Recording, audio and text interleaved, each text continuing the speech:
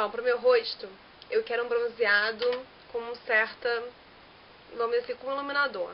Eu vou usar esse daqui da Revlon Color Stay. Essa é a cor Nevu, é, Suntan Matte 020. E eu vou vir com um pincelzinho fofo. E vou... Ele é um pouco duro. Ele você não consegue tirar muito pó dele não. E vou...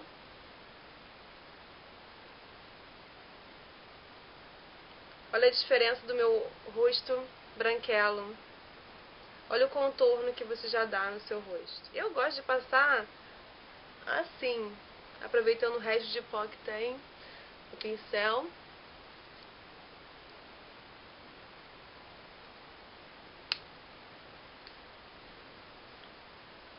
Sem contar, gente, que o vídeo te deixa muito mais branquela do que você é naturalmente.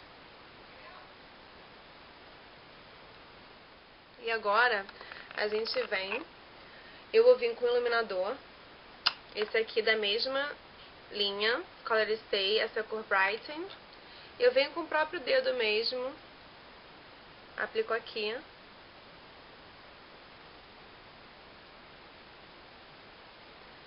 Aplico aqui em cima do ossinho.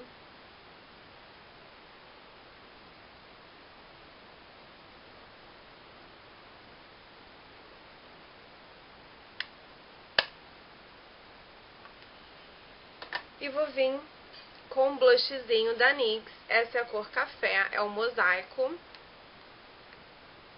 Um pouquinho dele e...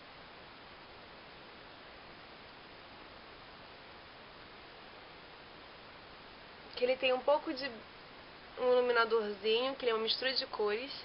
E tem um tom bronzeado.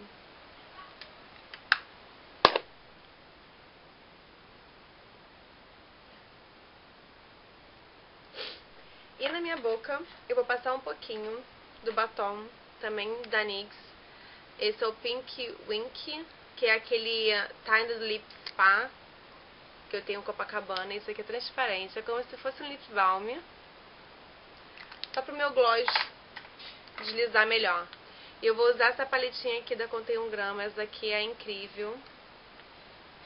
Vou vir com o pincelzinho dela mesmo. Eu vou vir com essa cor aqui, que é um douradinho.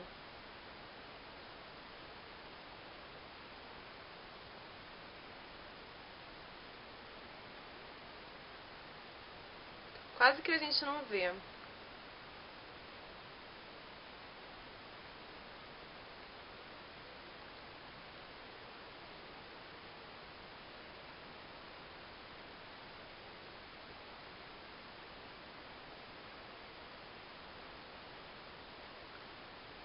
E pronto.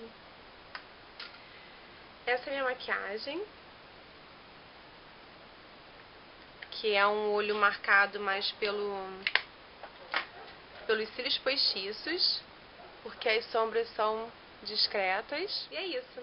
Espero que vocês tenham gostado. Qualquer dúvida, deixem em comentários. Ah, pra quem quer saber, eu tô usando meu esmalte.